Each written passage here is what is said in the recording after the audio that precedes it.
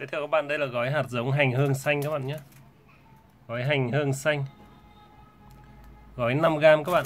Số điện thoại đặt hàng 086 515 3185. 086 515 3185.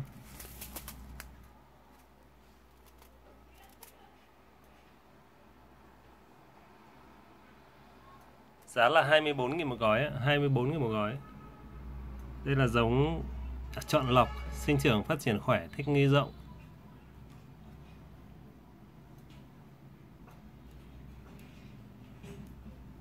Gói 5g.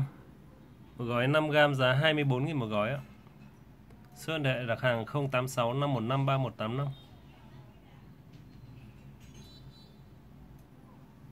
Số điện thoại đặt hàng đây các bác nhé, 086 515 3185.